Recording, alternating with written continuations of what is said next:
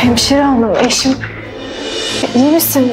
Bu halde kalkıp gelmişsin. Bak kızacaklar şimdi. Bizi ayırmaları hiç hoş değil. İyi misin oğlum? İyiyiz anne. İkimiz de çok iyiyiz. Şevket, annemi eve götür. Sen de eve. Ama Orhun Eve dedim. Artık odanıza dönmeniz gerekiyor. Doktor beyin kesin talimatı var. Çok uzak kaldık. Hasret üstümle aramda duran bütün kapılara, bütün duvarlara düşman. Kapın çağına kadar bekle. Orhan Demirhan'la. Após acidente, Oron surpreende Ira ao entrar em seu quarto no hospital. Demirhan toma decisão expulsa Fifi e Neva do hospital. Oron e Ira trocam declarações de amor por mensagens. Veja tudo o que vai acontecer nesse capítulo em Exara, então curta o vídeo, inscreva-se no canal e ative as notificações. Se também ama o casal e está feliz de nada de mal ter acontecido a eles, comente e deixe corações. Após sofrer um acidente de carro, Ira e Orun vão parar no hospital, porém nada grave aconteceu a eles. Ira está em seu quarto, e muito preocupada para saber o estado de seu marido. Ao ver a porta se abrindo, Ira pensa ser a enfermeira e diz enfermeira, meu esposo está bem?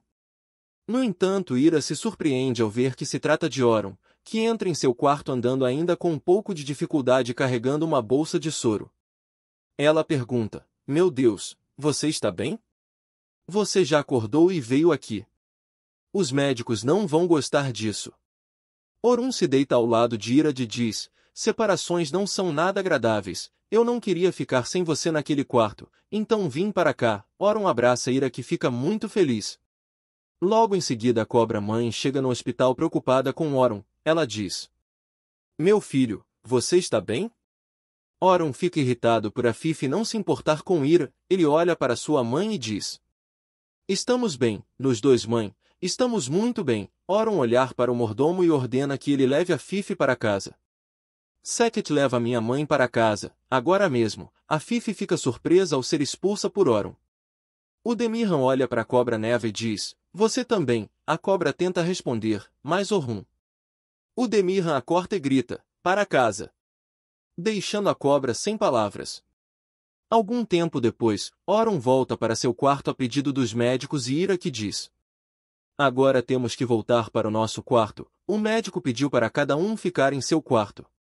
Oron e Ira conversam por mensagens de texto. O Demirhan diz, quando ficamos longe, a saudade cai sobre mim. Ira responde.